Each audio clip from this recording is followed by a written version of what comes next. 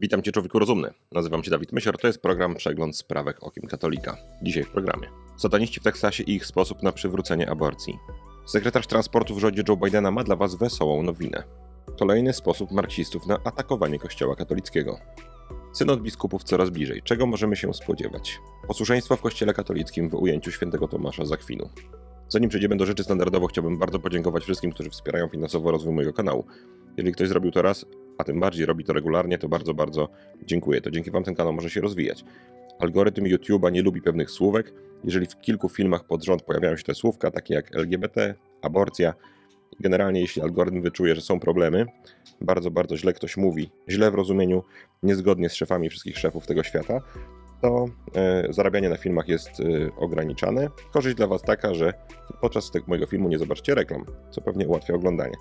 Natomiast dla mnie e, minus jest taki, że nie zbuduję sobie zbyt szybko willi z basenem, jak każdy szanujący się youtuber. Więc jeżeli jest ktoś, kto chciałby wesprzeć finansowo rozwój mojego kanału, uważa, że ten kanał ma sens, to szczegóły są pod filmem. Jeszcze raz wszystkim bardzo dziękuję. Teraz przechodzimy do rzeczy. Mówiliśmy ostatnio o tym, że w Teksasie został podpisany tzw. Tak Heartbeat Act, czyli uniemożliwienie dokonywania aborcji po tym, jak można wyczuć bicie serca, usłyszeć bicie serca dziecka od około szóstego tygodnia. To jest. Na razie nie chciałbym się skupiać na tym, dlaczego nie wszystkie aborcje, bo nie mam zielonego pojęcia. Y, proponuję na razie podchodzić do tego w ten sposób, że jest to duży sukces. Y, około 85 do 90% aborcji w Teksasie stanie się teraz y, zagrożona przez pozwy, czyli no raczej po prostu nie będzie się ich wykonywało. Po lewej stronie światopoglądowej oczywiście rozległ się noskowyt olbrzymi. W poprzednim odcinku mówiliśmy też o dwóch interesujących wpadkach lewej strony. E, zachęcam do obejrzenia poprzedniego odcinka. E, jak rzeczniczka prasowa Białego Domu powiedziała, że mężczyźni nie zachodzą w ciąży, co już jest bardzo niebezpieczną retoryką dla lewej strony. A druga, druga wpadka to jest taka, że musieli wymyślić nowe hasło, bo moje ciało, mój wybór już jest nieaktualne w obliczu szczepionek. Teraz wymyślili nowe hasło: żadnych zakazów dla mojego ciała. Coś w tym stylu. Sprytni są i naprawdę od razu full transparentów się pojawiło, koszulek, żadnych zakazów dla mojego ciała. Musieli przerobić swoje My Body, My Choice, moje ciało, mój wybór, bo to nie jest najlepsze hasełko już marketingowe dla firm e, Big Pharma, które zarabiają ziliardy, tryliardów tam dolarów, więc zmieniono je na zakazy won od mojego ciała, bo to pozwala i e, krzyczeć, że nie życzą sobie zakazu aborcji i jednocześnie krzyczeć, że życzą sobie nakazu szczepień, bo teraz tylko zakazy won od mojego ciała. Bardzo sprytne. Natomiast jest jedna rzecz, która rzuca na to interesujące światło, mianowicie świątynia satanistów w Teksasie złożyła jakiś, e, jakiś dokument prawny, który prosi sąd o to, żeby pozwalał dokonywać aborcji kobietom, a jako podstawę podaje ich wolność religijną, że jest rytualne wykonanie aborcji. I tam oczywiście prawo w Stanach gdzieś wyszukali niuanse, y, paragrafy, których by wynikało, że może należałoby chronić wolność religijną wszystkich w Teksasie. E, satanizm jest według nich religią, więc zgodnie z tą religią oni by chcieli móc E, dokonywać swoich obrzędów rytualnych, jakimi jest aborcja. I to jest o tyle, to jest oczywiście szokujące. No, jak ktoś to pierwszy raz słyszy, to pewnie spada z krzesła, albo jeśli siedzi akurat na krześle. Natomiast y, to jest o tyle interesujące, że osoby, które bardzo wnikliwie analizują temat aborcji na świecie, niejednokrotnie mówiły, że aborcja jest y, jakby najważniejszym no wielkim cudzysłowie mówiąc, sakramentem e, satanistów na świecie. To jest jakby ich takie największe osiągnięcie, jakie w ogóle może być. E, ich rytuał, nie chcę nadużywać słów nam kojarzących się ze rzeczami świętymi. Mianowicie satanizm e, to nie jest religia, która polega, wbrew temu, co się tak potocznie mówi, na uwielbieniu szatana. Satanizm najczęściej przejawia się w tym, że się naśladuje szatana. Czyli szatan mówi Bogu nie i satanista mówi Bogu nie. Szatan mówi, dlaczego nie ja najważniejszy, i satanista mówi, ja najważniejszy. Tak naprawdę nie ma zbyt wielkich różnic między satanizmem a, a po prostu ideologią lewicową. E, wiem, że mocna teza, aczkolwiek no prawdziwa, jakby się głębiej zastanowić. Więc ktoś analizując kiedyś uznał, że aborcja jest takim najwyższym przejawem, możliwym w ogóle e, tego, że ja, że skupiam się na sobie. Jeśli kobieta ma w swoim łonie dziecko, i z różnych przyczyn, i nie mówmy absolutnie o gwałcie, czy o tam powiedzmy sprawach zdrowotnych, bo łącznie to jest poniżej 1% wszystkich przyczyn wykonywanych aborcji w świecie zachodnim, w 99% przypadków e, decydują o tym jakieś względy, no po prostu mówiąc brutalnie, niewygody, aby teraz mieć to dziecko, niechęci, aby mieć to dziecko, czyli składam w ofierze jakby to dziecko dla siebie, dla swojej jakiejś życiowej wygody. I teraz takie słowa, jak się mówi, to y, no, wielu ludzi się puka w czoło. To jest y, za dużo powiedziane, to jest tak za mocno powiedziane. Natomiast y, teraz nagle, przy okazji tego prawa bardzo, bardzo ograniczającego aborcję w Teksasie, e, sataniści ujawniają się z tym, jakby, tak jakby. Bo od strony prawnej podobno to jest zupełny tam ślepak. Nic tutaj nie uzyskają, że teraz będą aborcje wykonywane z przyczyn e, rytualnych. E, natomiast sam fakt, że wnoszą o coś takiego, może troszkę uprawdopodobnia tę hipotezę.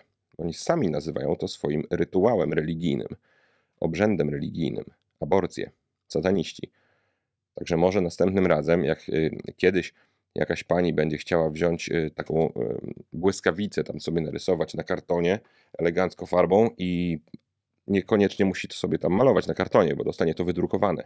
Nie będzie się zastanawiać nawet, kto wymyślił to logo, w jakim tempie, w jakim celu, dlaczego tak błyskawicznie po życzeniu Trybunału Konstytucyjnego powstało logo z błyskawicą i tak dalej, i tak dalej. Więc może następnym razem, zanim jakaś miła pani w Polsce sobie to tam narysuje na, na dłoni, czy powiedzmy gdzieś na czole, czy weźmie ten, ten transparent i da swojej córeczce i będą razem z tym szły, no to nie wiem, czy jakkolwiek to ich jakoś tutaj zniechęci. Moim zdaniem jest to jakaś taka rehabilitacja dla tych, którzy byli nazywani oszołomami, jakimiś, którzy tworzą teorie spiskowe, że aborcja jest y, rytuałem satanistów. Naprawdę tam nie chodzi o jakąś wolność kobiety i tak dalej, i tak dalej. Więc błagam, kobitki, zanim sobie narysujecie tutaj, chwilę refleksji, chwilę namysłu, o co tak naprawdę chodzi. Czemu to się nazywa czarne marsze?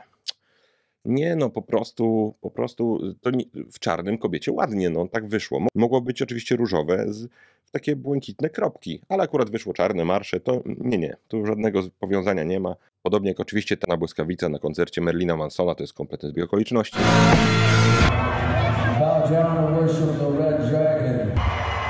Więc serdecznie proszę wszystkich myślących Polaków i tutaj naprawdę nie tylko katolików, żeby tak głębiej pochylić się nad tym wszystkim. Bogu niech będą dzięki, że jest katolicki gubernator w stanie Teksas, który podpisuje takie prawo. Oby to był początek czegoś nowego w Stanach Zjednoczonych, bo jak wiemy, za Stanami idzie cały świat. Nie dlatego, żeby to byli jacyś wielcy przewodnicy moralni i tak dalej, ale wszystko, co masz na takim urządzonku, yy, najczęściej pochodzi ze Stanów lub jest dopuszczane przez Stany. No teraz Chiny próbują wejść na te urządzonka, weszły z TikTokiem, ale to już nie jest do końca przedmiotem tej sprawki. Idziemy do następnej. Joe Biden, prezydent Stanów Zjednoczonych, jak wiadomo, nazywa się katolikiem. Jest tam troszkę problem z tym, że popiera aborcję i ogólnie to wszystkie, wszystkie takie antykatolickie e, sprawki popiera Joe Biden. Natomiast dzisiaj krótko chciałbym powiedzieć, że jego sekretarz transportu, minister transportu chyba to należy powiedzieć, to jest gość, który daje się poznać Stanom Zjednoczonym od takiej swojej prywatnej strony w takim filmiku. The, the night that I first met Chasten, who's my husband now, uh, on a date, I thought if the date's going well, uh, I'll ask him to come to a ball game with me. I had a couple of tickets in my pocket, and the date was going well. Uh, we reached for each other's hand at the same time, and it was it was just. Reggie, do you have a question for our guest this evening? how long do you think it'll be before all of politics learns that this is the way to go and we promote more people like you? Oh man, I mean, it, look, uh, there are people running for office who I think of as a whole new generation. Uh, the most important thing is, you know, we get to decide what gets rewarded and, and what gets punished in terms of the behavior and, and, vocabulary of our politicians. A ostatnio podzielił się radosną nowiną e, z całym światem w takim tweetie, gdzie napisał, że Hasten i ja jesteśmy tam bardzo wdzięczni za wszystkie życzliwe życzenia y, od tego, jak się podzieliliśmy ze światem nowinką, że stajemy się rodzicami. Cywilizacja zachodnia pada powolutku, no to znaczy może inaczej. Ja jestem z tych bardzo już nielicznych chyba ludzi, którzy są przekonani, że cała ta rzecz jest do odwrócenia i że E, pomimo tego, że człowiek powinien żyć tak, jakby żył w czasach ostatecznych, zgadzam się z tym, że każdego dnia należy być gotowym na to, że paruzja jutro, natomiast ja jakoś przepraszam. Jestem jednym chyba naprawdę z nielicznych ludzi w, e, po stronie katolickiej, którzy mówią, że równie dobrze to wszystko może jeszcze trwać 500 lat albo 5000 lat. I przepraszam, na razie o tym nie mówmy. Ja w każdym razie nie uważam, żeby cywilizacja ludzka już się kończyła, chociaż jest bardzo, bardzo, bardzo grubo. No tutaj mamy y, katolickiego prezydenta, nominalnie katolickiego prezydenta, który swoim minister transportu czyni faceta, który tutaj właśnie się tym dzieli. To jest wszystko już norma, próbuje być norma. Co jest interesujące, że pewnie mój drogi widzu, ty i ja, e, czasami siedzisz sobie i myślisz, e, że wow, ale to poszło, nie? Wszyscy to akceptują i generalnie jestem już jednym z nielicznych. Więc po raz któryś na tym kanale bardzo proszę o świadomość, że tak nie jest. Media są lewicowe. One są trzymane przez, no dzisiaj mówiłem, że ideologia lewicowa, większość ideologii lewicowych i satanizm. To są tak naprawdę rzeczy dosyć, dosyć zbieżne. W wielu miejscach no one idą bardzo, bardzo ręka w rękę. Więc y, media, wszystko co kontroluje przepływ informacji, jest w rękach tamtych ludzi i jednym z jakby elementów tego wszystkiego jest to, żeby stworzyć wrażenie, że ty jesteś jednym z nielicznych. Jeżeli myślisz, że na świecie, na nie wiem, 7 miliardów ludzi teraz, na widok tych dwóch panów, którzy trzymają tą dwójkę dzieci, większość myśli sobie, no jak wspaniale, to tak nie jest. Milcząca większość. To jest takie pojęcie, które pojawiało się już kilkukrotnie na tym kanale wcześniej. E, w Stanach podczas przejęcia władzy po Baracku Obamie. Milcząca większość według mnie e, myśli podobnie jak ty.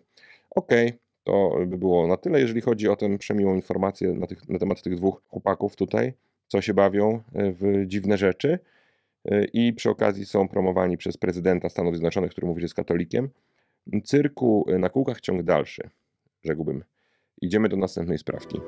Chciałbym zwrócić Waszą uwagę na kolejny sposób znowu ze Stanów, bo w Polsce my idziemy dużo bezpieczniej na razie, jakby dużo z tyłu za tymi wszystkimi przemianami, dzięki Bogu. Natomiast y, jest nowy sposób ataku na Kościół. Wiadomo, że y, ci, którzy chcą zniszczyć Kościół, uznali już bardzo dawno temu, że trzeba przenikać do jego struktur i e, od wewnątrz to rozwalać. Naj, najbardziej taki e, agresywny przejaw tego to jest przenikanie do e, kleru, czyli tam już to było od lat 70., zdaje się, klerycy, niewierzący, ateistyczni, komunistyczni ludzie szli do seminariów w różnych miejscach na świecie i mieli jakby sączyć myśli neomarksistowskie, które tak naprawdę są bardzo zbieżne z myślami modernistycznymi, mieli je sączyć do seminariów, ale teraz mamy jakby nowy przejaw tego, mianowicie do struktur świeckich różnych przemyca się, jeśli tak można powiedzieć, różne osoby. I tam e, Kościół w różnych miejscach orientuje się, że moment, moment, tu mamy szkołę katolicką jest nauczyciel, który oficjalnie mówi, że jest na przykład homoseksualistą. I co my teraz mamy zrobić? Nie? Prawo już raczej w wielu miejscach no, nie jest gotowe na to, żeby kogoś zwolnić za orientację seksualną. On jest nauczycielem w szkole katolickiej, ukrył fakt, że jest y, homoseksualistą, teraz to ujawnia i wszyscy jakby w szkole wiedzą, rodzice wiedzą, dzieci wiedzą i on wie, że gej jest w szkole katolickiej i uczy. Mówiąc gej, oczywiście nie będę za każdym razem podkreślał, że chodzi mi o aktywnego, zdeklarowanego człowieka, który nie widzi żadnego problemu. To nie chodzi o jakieś skłonności, chodzi o to, że żyje w związku z facetem, obnosi się z tym, mówi, że wszystko jest w porządku i uczy dzieci w szkole katolickiej. No i taka szkoła usuwa takiego człowieka i jest od razu pozew. No bo jak? I chciałbym tutaj powiedzieć krótko o takiej jednej sytuacji. Nauczyciel w północnej Karolinie w szkole katolickiej ogłosił to już jakiś czas temu, w 2014 roku, że y, wesołą nowinę, że on się żeni, czy tam wychodzi za mąż za mężczyznę i został zwolniony. Teraz o sprawie jest głośno, bo zapadł wyrok przymuszający szkołę do przywrócenia go do funkcji nauczyciela. I chodzi sobie teraz po korytarzu szkoły katolickiej, dumny z tego, że zadzwoni do swojego męża i powie: Kochanie, będę na 17, przygotuj obiad, idę uczyć dzieci w szkole katolickiej teraz, e, tam powiedzmy czegoś, bo nawet nie wiem, czego on jest nauczycielem. Drugi przykład tej wojny, bo chcę tylko powiedzieć nie o tym jednym przykładzie, tylko żeby była świadomość, że tam pojawia się nowy rodzaj tej takiej wojny hybrydowej kontra Kościół katolicki. Mianowicie przenikanie osób o totalnie sprzecznym światopoglądzie do struktur kościelnych, czy też powiedzmy właśnie powiązanych z Kościołem, i najczęściej fajnie, żeby to były osoby homoseksualne, bo na tym tle ciężko kogoś zwolnić z pracy. Jest drugi przykład, tutaj bardziej optymistycznie, ale całą diecezję pozwała lesbijka. Pozwała całą diecezję Indianapolis za to, że została usunięta z roli eksperta do spraw wychowania w rodzinie. Ona przy kościele nauczała życia w rodzinie, wyszło, że jest lesbijką, żyjącą w związku ze swoją e, partnerką i została zwolniona. I pozwała całą archidiecezję i e, sąd oddalił. Tam trafiło na innego sędziego. Sąd powiedział, że archidecyzja miała prawo zwolnić ją z pełnienia obowiązków ekspertki od katolickiego wychowania do życia w rodzinie. No i tutaj akurat e, mini sukces. Posłuchajmy wypowiedzi arcybiskupa, nazywa się Charles Thompson, to jest arcybiskup tej archidiecezji tam w Indianie.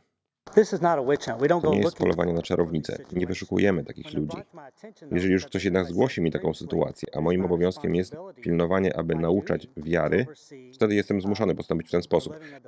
E, Jakoś nie jestem wielkim fanem tej wypowiedzi, bo y, to nie jest polowanie na czarownicę. Czyli co, nie ma żadnych aktywnych działań, aby upewnić się, że wszyscy nauczyciele, którzy uczą w środowiskach katolickich, są e, katolikami. Nie ma aktywnych działań, aby to sprawdzić. Dopiero kiedy ktoś mu zgłosi, ej, wiesz, że w tamtej szkole, e, tam na przykład religii albo wychowania, katolickiego wychowania do życia w rodzinie, e, uczy otwarcie żyjący homoseksualista. O, serio? No to nie, to, to musimy rzucić na to okiem. Według mnie powinno być aktywne, aktywne upewnianie się e, o tym, że nauczanie jest, no jakby to rzec, koszerne, by powiedzieli w, innej religii katolickie. Okej, to taka ciekawostka nowego ataku, z którego ja nawet sobie nie zdawałem sprawy, bo przenikanie do struktur kościelnych myślę, zawsze mi się kojarzyło ze strukturami osób konsekrowanych. Nie kojarzyło mi się ze strukturami też świeckimi, ale widać, że przeciwnicy Kościoła naprawdę, no, limity dla ich wyobraźni e, i powiedzmy kreatywności e, są wciąż e, przesuwane. No, powiedziałoby się szacuneczek, gdyby to nie było tak straszne. Dobrze, to idziemy do następnej sprawki. Za około miesiąc zaczyna się synod biskupów. Ma jakąś taką zupełnie nową formułę, gdzie ma się słuchać ludu Bożego. To jest chyba motyw przewodni całego tego synodu, że teraz się będzie słuchało ludu Bożego. We wszystkich diecezjach na świecie ma się przeprowadzić jakieś konsultacje z ludem Bożym i potem te informacje mają podać coraz wyżej, coraz wyżej i potem będą podejmowane jakieś nowe, nowe decyzje. Teraz może warto, żeby moi widzowie wiedzieli, a jeśli ktoś wyłapie błędy w tym, co mówię, to błagam, proszę o tym napisać jakoś bardzo merytorycznie, bo to już wchodzimy na grunt poważnych spraw naprawdę. Okazuje się z pierwszych takich dokumentów, instrukcji dotyczących tego synodu, że przez słowo lud Boży, że teraz będziemy słuchać ludu Bożego, wcale nie rozumie się tutaj katolików. Nie tylko katolików. Lud Boży w tym ujęciu tej instrukcji to są po prostu wszyscy ludzie. Ludzie katolicy, ale też niekatolicy, niewierzący, ateiści, apostaci e, i tak dalej. Trzeba się wsłuchać w to, co oni mają do powiedzenia Kościołowi, no bo na tym chyba polega rola Kościoła, żeby słuchać się ludu. E, Kiedyś, e, zaraz, e, to było odwrotnie chyba, że lud ma się słuchać Kościoła, a teraz Kościół się będzie wsłuchiwał w potrzeby ludu i co więcej, żeby było jakoś tak bardziej ekumenicznie, to nie tylko ludu w rozumieniu katolików. Lud Boży od teraz to jest lud wszystkich religii i ludzi niereligijnych też. I teraz tak, mm, od trzech lat, jak pewnie większość z moich widzów wie, w Niemczech jest coś takiego, tak zwana droga synodalna się rozpoczęła, czyli proces przemiany kościoła niemieckiego. Temu bardzo kibicuje papież Franciszek. E, To nie jest jakby oficjalne stanowisko, tylko można to wnioskować z wielu różnych wydarzeń, na przykład sytuacji z kardynałem Marksem, który jest twarzą tej drogi synodalnej. On ostatnio tam złożył rezygnację. Papież powiedział, że nie, nie, bracie, wracaj do roboty, trzeba dalej e, dokonywać tych ważnych dzieł. No a on jest właśnie jedną z takich głównych twarzy tej drogi synodalnej. Więc e, naprawdę jest też kilka innych przykładów na to, że papież po prostu bardzo kibicuje temu, co, co, co robi Kościół niemiecki. I pod koniec września ma być tam w niemieckim kościele głosowany jakiś taki dokument, który ma cztery zasadnicze punkty. I te punkty to władza i podział władzy w kościele, egzystencja czy też życie księży dzisiaj, kobiety w, w posługach kościoła i życie w relacjach pełnych sukcesu. Tak to byśmy chyba e, mogli przetłumaczyć. I teraz e, podobno na przykład ten punkt, punkt czwarty, życie w relacjach e, pełnych sukcesu, ten punkt ma 30 stron i słowa homoseksualista albo homoseksualny używa e, w tym rozdziale, to mówimy o dokumencie Kościoła, który ma być głosowany przez biskupów niemieckich pod koniec tego, tego miesiąca. Tam pojawia się słowo homoseksualny lub homoseksualista, uwaga, 36 razy. To dużo, można by powiedzieć. Jeden z podrozdziałów tego czwartego rozdziału e, nosi tytuł Owocność relacji homoseksualnych. Czyli e, jest interesująco naprawdę. Natomiast e, nie mniej istotne są e, punkty na przykład e, trzeci. E, Tam e, jest sporo kardynałów, którzy uważają, że temat e, posługi kobiet kapłańskiej, żeby po prostu dopuszczać kobiety do kapłaństwa, to absolutnie nie jest temat jeszcze zamknięty i no, dużo jest takich głosów w kościele niemieckim. I teraz y, chciałbym powiedzieć na ten temat mniej więcej tak. Nie chciałbym, żebyście pomyśleli, że jakby upraszczam bardzo wszystko i e, wykorzystuję na przykład taki dokument do tego, żeby znowu na ten sobór nawijać, ale taka jest hipoteza. Proszę mnie poprawić, jeżeli ktoś uważa, że jest trochę inaczej. Modernizm potępiony przez Piusa X papieża w 1907 roku encykliką Pascendi Dominici Gregis musiał y, się schować troszeczkę, w ukryciu pozostać na jakiś czas. I potem po II wojnie światowej okazało się, że ma bardzo mocno przygotowaną retorykę teraz na ten cały poraniony II wojną światową świat. Y, na nowo, zupełnie od innej strony zaczął wchodzić i przełomowym momentem był Sobór Watykański II. Na tym soborze było bardzo dużo mm, rzeczy sformułowanych w ten sposób, że konserwatywni kardynałowie, czyli kat katolicy kardynałowie po prostu w ogóle się nie zorientowali, co oni podpisują. I okazało się później, że większość sformułowań jest tak dwuznaczna, że można sobie wszystko pod nie podciągnąć. No i moderniści właśnie w takim celu sporo z tych rzeczy tam e, forsowali. Doprowadziło to potem, wiele z tych zapisów doprowadziło do rewolucji liturgicznej, która zupełnie zmieniła mszę świętą, ale może nie o tym teraz, y, chociaż to jest zasadnicze, najważniejsze. Teraz bardziej chciałem powiedzieć o tym, że w ogóle po prostu modernizm zainfekował Kościół. I e, jaki jest efekt tego? Efekt tego jest taki, że w kościele, w tym modernistycznym kościele, co mówiłem w zeszłym odcinku, jak y, taką tylko ciekawostkę, że ten kardynał Henan albo Hinan, jak zobaczył tą nową mszę, to powiedział, jak wprowadzicie ten ryt, to nie będzie mężczyzn więcej w kościele. I to się tyczy ogólnie modernizmu. Można by teraz pewnie bardzo dużo czasu poświęcić rozważaniu, dlaczego tak jest. Natomiast na pewno można powiedzieć, to naprawdę modernizm zmienia religię. Zmienił. Po prostu to już nie jest ta sama religia katolicka. I za tym, że to nie jest ta sama religia katolicka, idzie to, że to już nie jest prawdziwa religia katolicka. Za tym idzie to, że ona traci tak naprawdę w tych miejscach, gdzie modernizm dominuje, traci swoją nadprzyrodzoną moc. I za tym idą y, grzeszne postawy ludzi. Y, homoseksualni, księża, jakieś y, nadużycia seksualne, rozwody w małżeństwach, relatywizacja grzechu, tak naprawdę. No i teraz y, Kościół niemiecki, według mnie tam jest sporo takich księży, którzy świadomie w tym wszystkim biorą udział, oni chcą zmiany doktryny z przyczyn takich, że po prostu no, chyba nie lubią wiary katolickiej. Natomiast myślę, że tam jest też bardzo dużo księży, którzy po prostu e, poszli e, do seminarium, tam ich troszkę wyprali im mózgi w modernistycznych seminariach niemieckich i potem e, są w kościele. I w tym kościele widzą co? Widzą kilka babć, które są po prostu wierne jeszcze tej wierze, w której się wychowały. One już nawet no, widzą, że coś może tu jest inaczej, ale msza to msza, ona jest tutaj. Kilka babci, które się tam chwieją i, i pusto poza tym. Trochę pustawo jest, a wręcz bardzo pusto. No i teraz y, jak główkuje taki ksiądz, tak w wielkim uproszczeniu, no, że on by tutaj chciał mieć teraz y, więcej ludzi, no ale w jego parafii, może potem, oni tam chyba nie chodzą po kolędzie, natomiast no w jego parafii jest tak, bardzo dużo małżeństw rozwiedzionych, które mają pretensje do niego, że nie mogą przystępować do komunii. Są homoseksualiści, mają pretensje do niego, że nie może przystępować do komunii. No i tak naprawdę prędzej czy później on myśli sobie tak, wow, my, ja jestem winny, ja nie daję komunii rozwodnikom. Gdybym dawał, to bym miał tu full ludzi. Jakbym dawał komunię gejom i pozwalał się im tam pobierać, to bym miał tu full ludzi. Coś nie tak z tym kościołem jest. My się po prostu nie możemy, nie nadążamy ze światem. Ja wiem, że to bardzo uprościłem, ale to mniej więcej tak jest. Uważam, że mniej więcej tak to jest. Że z tych wszystkich księży tam całkiem spora część ludzi po prostu mm, od dawna już nie wierzy w Boga, więc no główkują w ten sposób. A część tylko jest y, tam w jakimś spisku, który ma po prostu aktywnie doprowadzić do, do, do dalszej kompromitacji wiary katolickiej. Więc dla mnie wszystko, co się kojarzy ze słówkiem droga synodalna, to jest właśnie to, że odchodzimy od y, doktryny katolickiej, odchodzimy od wiary katolickiej, popadamy w sytuacje takie, że księża są aktywni homoseksualiści, skandale seksualne są, bardzo dużo rozwodników, bardzo dużo y, kompletnego rozwalenia ludzi w mojej jakiejś tam niemieckiej parafii, diecezji, archidiecezji. Ja zamiast mówić, oj, y, musimy zmienić siebie, bo wszystko się tutaj popsuło, no to on mówi, oj, musimy zmienić kościół, musimy zmienić tak zasady, żeby teraz ci wszyscy ludzie nagle przestali być grzesznikami. Nie przez to, że oni zmienią swoje postępowanie, tylko że my już coś, co było kiedyś grzechem, przestaniemy nazywać grzechem i będziemy mieć samych świętych. To nawet jest w pewnym sensie dosyć sprytne. No bo są dwa sposoby, żeby, żeby tak naprawdę ktoś był święty. A pierwszy sposób to jest taki, że on naprawdę zacznie żyć zgodnie z, z planem Bożym, a drugi sposób to jest taki, że zmienimy plan Boży, powiemy, że rób co chcesz, jesteś święty. To drugie y, nie działa do końca. Niestety można by tak wnioskować. Jednak, mimo że trudniejsza jest droga pierwsza, to lepiej y, by było pójść tą pierwszą drogą. żeby zacząć na nowo zmieniać swoje postępowanie, ale to już jest tak daleko zaszło w Niemczech. No więc wyglądałoby na to, że y, ta droga synodalna w Niemczech y, bardzo przeniknie y, to wszystko, co się ma dziać na tym synodzie biskupów.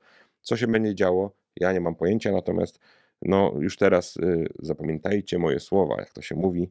Tam będzie bardzo, bardzo dużo różnych treści, po to, żeby i tak przemycić tak naprawdę coś z etyką seksualną, katolicką moralnością seksualną i może jeszcze jakieś inne grube, grube rzeczy. W ogóle słuchanie ludu Bożego jest absurdem, nie? Absurdem kompletnym.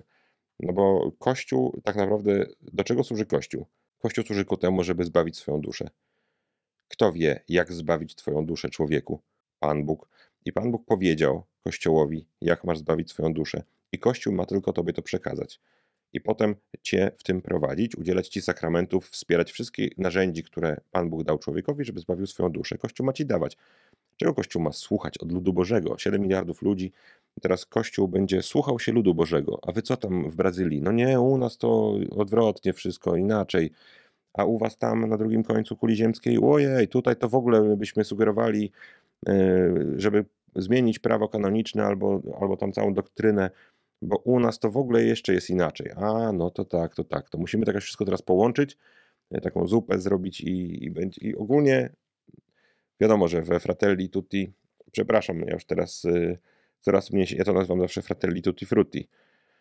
Może to za daleko posunięte i ktoś się zgorszy, że ja tak mówię. W tej encyklice papież, no tam to brzmi jak manifest komunistyczny, po prostu taki, taka wizja, że wszystko na świecie jest po prostu dla człowieka. Człowiek ma sobie stworzyć jakąś utopię.